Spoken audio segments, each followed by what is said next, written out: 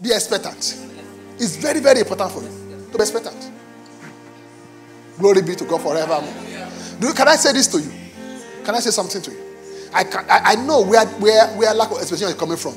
Because we have been disappointed several times. We don't want to be disappointed again. So when there's no expectation, there's no disappointment. But with God, you will not be disappointed.